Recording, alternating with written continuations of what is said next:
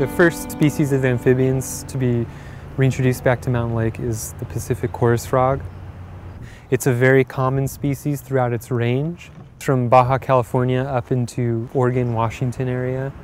But in the city of San Francisco, it's on the verge of extinction. There's really only one functional population left, and that's in the Presidio in a seasonal pond that is getting hit very hard by this drought that we're in. So it's a very unstable situation for this last functional population of chorus frogs in San Francisco. So we chose to use that population as our source population to bring back into mountain lakes. One thing we had to be considerate of was chytrid fungus, which is a fungal pathogen that these frogs, that population is in fact carrying. One way to translocate these animals while sort of bypassing the fact that they have this fungal pathogen present is to move their egg masses. The egg masses cannot actually hold this fungus because it doesn't have the appropriate substrate like the adult frogs or the tadpoles. They actually can hold the fungus. So we chose to move egg masses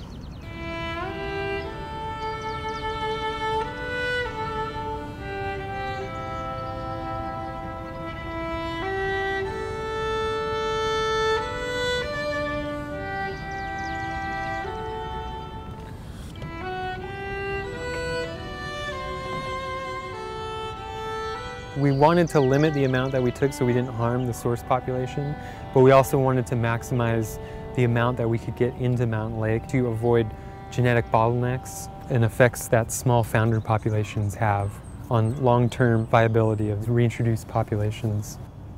So before collecting from the one population, we designed and built these cages that are predatory exclusion cages. So even though we remove the non-native fish, which are the main reasons why those, these frogs are, were extirpated from the lake, aquatic invertebrates like dragonfly larvae, crayfish, the non-native crayfish that are in the lake, all of these invertebrates are predators on these freshly hatched tadpoles.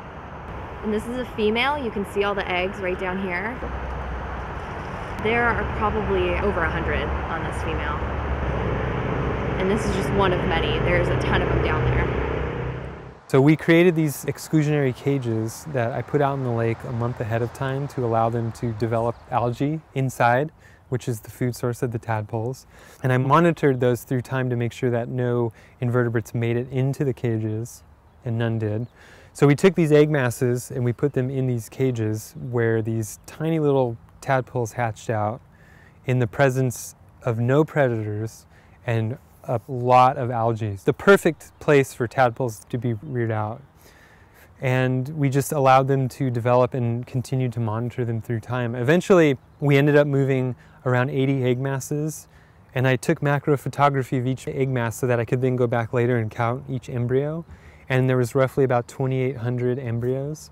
The best stage to release these little guys is when they're just crossing over from tadpoles into froglets. So when they have all four legs out and their whole body physiology changes over from little gill breathing tadpoles to terrestrial lung breathing frogs that we know of. So during that transition, they start to absorb their tail and they're not eating and they're starting to use the upland habitat a little bit more.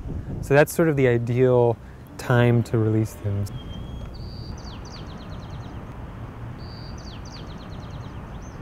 The north arm of Mountain Lake is now an ideal habitat for froglets and dragonflies and damselflies. It's very sunny, very slow flowing water and a lot of emergent vegetation. It's sort of a nice hybrid between terrestrial and aquatic. The vegetation is general habitat, so it's protection from birds, other predators that are going to try to go after these froglets. It's basking habitat. These, these little guys like to hang out in the sun and just relax and stay warm. It's habitat for their food source, little leaf hoppers, other things like midges and mosquitoes, and a lot of little invertebrates that are living, emerging out of this wetland habitat that are going to be the ideal food source for these frogs as they start to grow. So that habitat is ideal for release of these froglets.